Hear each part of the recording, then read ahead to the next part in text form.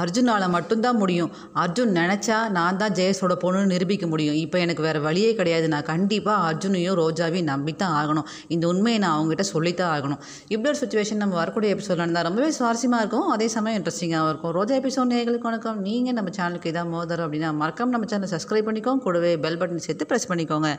வரக்கூடிய எபிசோடில் என்னென்ன சம்பவம் நடக்க வாய்ப்பு இருக்குது அப்படின்னு பார்த்தீங்கன்னா இப்போ நம்ம ரோஜா வந்து பூஜைக்கு போயிருக்காங்க. ஸோ பூஜைக்கு போன நம்ம ரோஜாவை தீர்த்து கட்டுறதுக்காக யசோதா பாலச்சித்துப்பாவும் ரெடி பண்ணிகிட்டு இருக்கிறாங்க ஸோ இந்த நேரத்துலையும் கூட நம்ம ரோஜாவுக்கு அம்மன் வந்து ஹெல்ப் பண்ண போகிறாங்க ஸோ அம்மன் ரூபத்தில் எதாவது ரூபத்தில் வர போகிறாங்க ஸோ இப்போ கண்டிப்பாக நம்ம ரோஜாவை ஹெல்ப் பண்ண தான் போகிறாங்க ஸோ இது ஒரு பக்கம் இருக்க? இந்த பக்கம் என்ன நடக்க வாய்ப்பு இருக்குது அப்படின்னு பார்த்தீங்கன்னா நம்ம அணு வந்து வீட்டில் இருக்க அந்த ஃபோட்டோவை எடுத்து பார்க்குறாங்க ஸோ அந்த ஃபோட்டோவை பார்த்தா இது நம்மளோட சின்ன வயசு ஃபோட்டோ மாதிரி இருக்குது அப்படின்னு சொல்லிட்டு அணு சந்தேகப்படுறாங்க.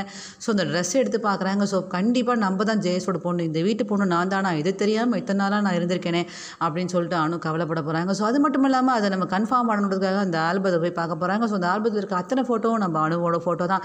ஸோ இப்போ நம்ம தான் ஜெயஸோட பொண்ணுங்கிறது உண்மையாக நிரூபணம் ஆயிடுச்சு. ஸோ இப்போ இதை நம்ம எப்படி நிரூபிக்க போகிறோம் நம்ம ஏற்கனவே வந்து மாணிக்கத்தோட பொண்ணுன்னு சொல்ல போய் சொல்லிக்கிட்டு இருக்கோமே. டிஎன்ஏ டெஸ்ட்டெல்லாம் வந்து நம்ம அவருக்கு சாதகமாக இல்லை பண்ணிகிட்டு இருக்கோம். ஸோ அவரோட பொண்ணு மாதிரி தான் நம்ம நடிச்சுக்கிட்டு இருக்கோம். நம்ம இப்போ எப்படி ஜெயஸோட பொண்ணு நிரூபிக்கிறது? நான் எனக்கு வேறு வெளியே இல்லையே. நான் ஆனால் இந்த வீட்டு பொண்ணு தான் நான் நிரூபிச்சே ஆகணும் அப்படின்னு சொல்லிட்டு அணு வந்து யோசிக்க போகிறாங்க ஸோ இப்போ நமக்கு வேறு வழியே கிடையாது. நம்ம அர்ஜுன் மாமா கிட்ட இந்த உண்மையை சொல்ல வேண்டியதான் ஸோ அர்ஜுன் மூலமாக மட்டும்தான் நம்ம ஜெயஸோட பொண்ணு நிரூபிக்க முடியும்.